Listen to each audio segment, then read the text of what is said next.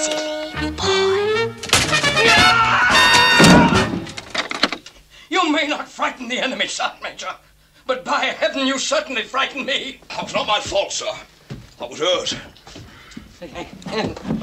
Get Entirely hers, sir. What are you talking about? Whose fault? Oh, Tiger. So. Private Ffoukes-Sharpe, sir, is after me. After you what for? She has designs on me, sir. Get this bloody thing off me! Sir! Oh, oh I, I seize you a predicament, sir. And I feel it. Get it off! Steady, sir. Resist me. Resist me, sir. Right up. Left hand on me.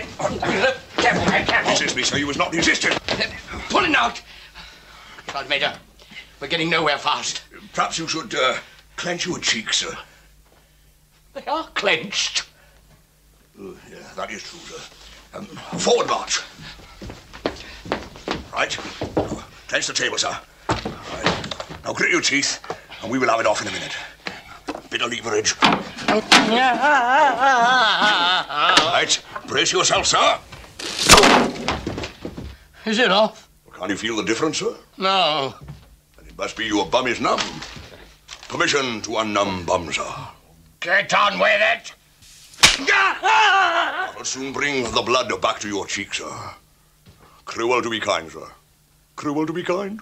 If you're going to talk about being cruel to be kind, you may as well know that as far as that shower outside is concerned, that I intend to be cruel to be cruel.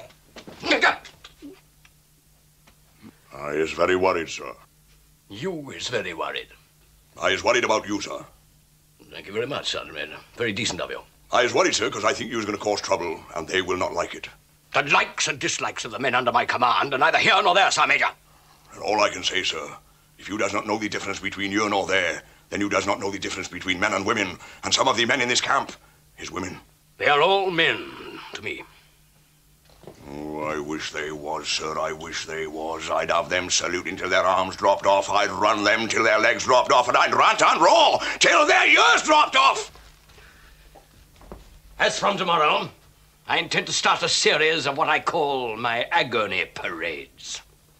In that case, sir, tomorrow morning, the only parade you is likely to see is sick parade.